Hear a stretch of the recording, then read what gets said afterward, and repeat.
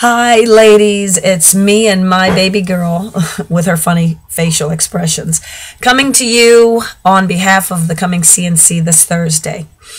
I've got a special request for each of you. I am fasting for the next 10 days. I'm doing a no food fast. It's really a detox.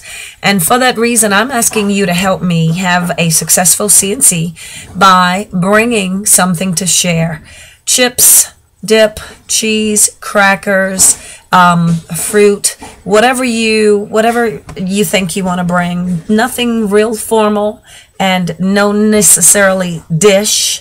It's not necessary to bring a dish, but bring something to share. And when you get here, please don't let me have any of it.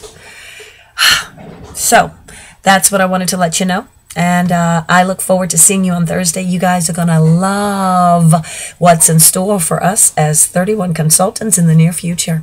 I'm so excited. Get excited. It's going to be a great C&C this Thursday.